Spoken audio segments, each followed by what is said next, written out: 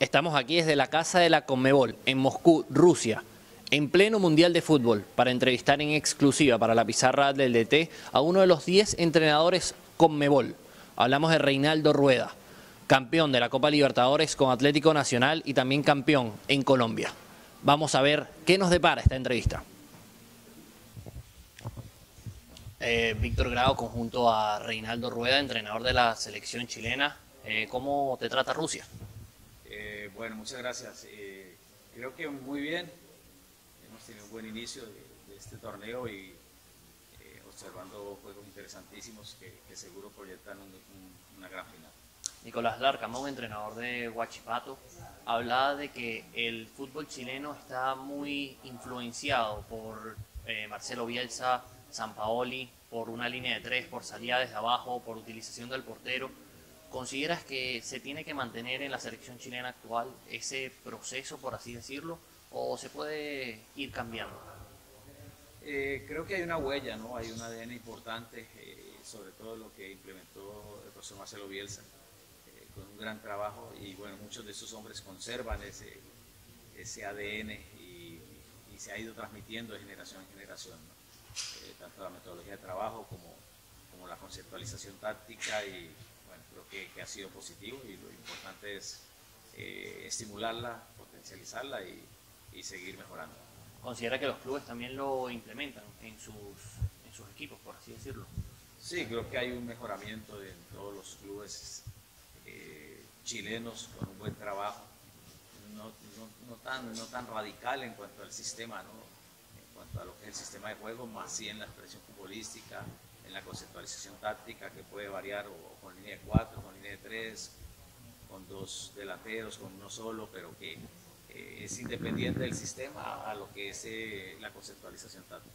Hay algunos entrenadores chilenos, en mi caso Nicolás Córdoba, por ejemplo, que lo ha implementado, esa, esa línea de 3, eh, por lo menos, y, ese, ese estilo de juego de salida desde atrás, pero que también tiene mucha influencia argentina, el fútbol chileno. ¿Cómo, cómo catalogas ese, ese aspecto?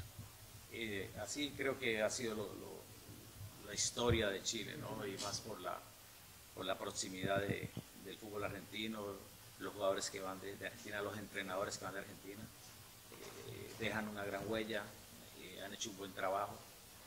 los clubes chilenos han tenido una muy buena orientación también con estos entrenadores, aparte pues que los jugadores y los entrenadores chilenos que se han formado, como el caso del profe Córdoba, que han tenido no solamente la experiencia de, Chile, sino la experiencia europea, eh, han logrado hacer esa conjugación importante para, el fútbol chileno.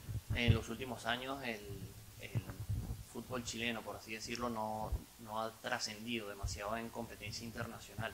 ¿Considera que tiene que cambiar para poder ser exitosa eh, estancia en la, selección? Hay que seguir sembrando, hay que seguir sembrando, hay que hacer, eh, hacer un buen trabajo eh, pienso que en ese momento se va por buen camino con la sub-15, con la sub-17, con la sub-20, la medalla de oro sudamericana ahora en, en, Odesur, mm, lo de la selección femenina. Eh, es vital para garantizar tener eh, el talento para la selección adulta.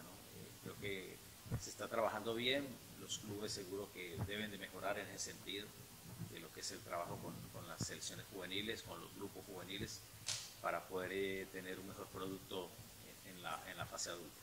Menciona las selecciones juveniles, quizás los últimos años no han sido tampoco los más exitosos para eh, las selecciones juveniles chilenas, por ejemplo, caso de Perú, eh, con Daniela Ahmed cargo ha hecho todo un proceso eh, para poder solidificar las inferiores y que eso repercuta en la selección de mayores. ¿Cómo trabajarlo en, en el caso de Chile?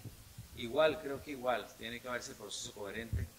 Chile creo que con el profesor Robles ahora en la sub-20, el profesor Caputo en la sub-17, el profesor Leiva en la sub-15, están con ese propósito, están con ese proyecto, que haya buena comunicación, eh, que haya esa coherencia entre proceso y proceso y, que esto garantice, ¿no?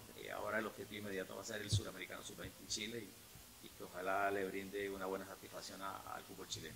¿Se busca mantener un mismo estilo de juego entre las diferentes selecciones juveniles con respecto a la mayor? Sí, creo que es, la tendencia, ¿no? Porque es, es, lo que es la esencia de la cultura futbolística chilena. En el caso, por ejemplo, tema de scouting que se ha realizado, por ejemplo, en la selección chilena anteriormente, por ejemplo, con Nico Albornoz, eh, jugador nacido en Suecia y que se, que se trajo para, para Chile, eh, considera que se podría aplicar también eh, repatriar, por así decirlo, jugadores que tengan nacionalidad chilena para poderle generar un mayor nivel a lo que es el, la selección. Siempre y cuando marquen esa diferencia, ¿cierto? Con el jugador que está ahí en Chile, que haya nacido y se haya desarrollado en Chile, eh, bienvenido sea, ¿no? Creo que se continúa con esa fase de, de a nivel internacional por tanto inmigrantes chilenos que hay y pues es una de las tareas que desarrolla el Departamento de Inteligencia de Scouting de la, de la Federación eh, Chilena y bueno, creo que en la medida que se detenten talentos en cualquier parte del mundo va a ser muy positivo para, para la selección. Por último, eh, el cambio generacional que está viendo la selección chilena, jugadores, eh, Maripán, por ejemplo, eh, Enzo Rocco, jugadores que están surgiendo, pues, una nueva camada que hay, cómo manejarlo y sacar, por así decirlo, entre comillas, una selección de un proceso generacional tan exitoso como, como lo fue el caso de Alexis Vidal, etc.